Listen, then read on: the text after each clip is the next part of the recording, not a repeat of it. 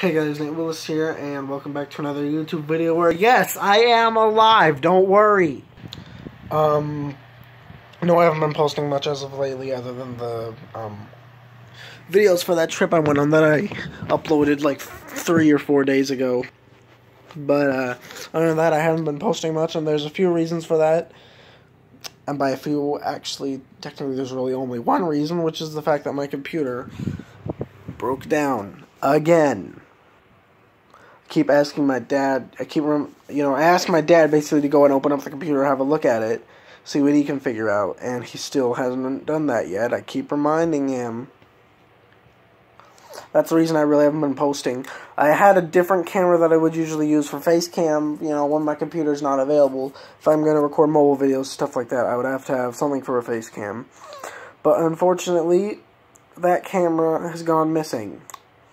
Or rather, the phone that that camera is on has gone missing. And Josh let me borrow his phone for a video, but he, I also would have to edit it on his phone because I also use that other phone to edit the videos. And, excuse me, and I can't um, overlay video footage.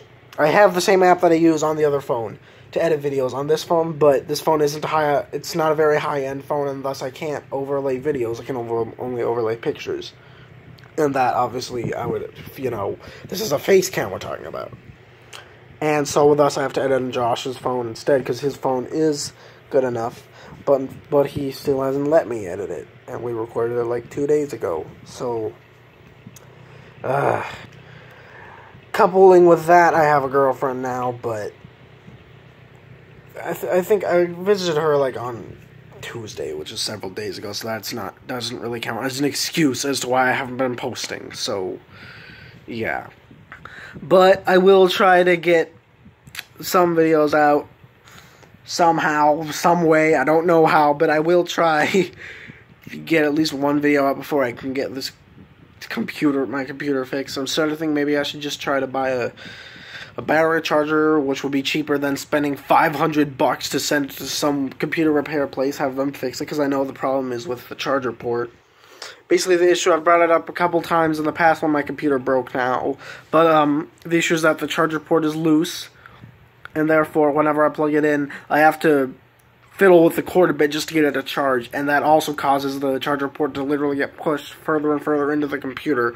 It's gotten pushed far enough to the point where I really can't charge it like at all now.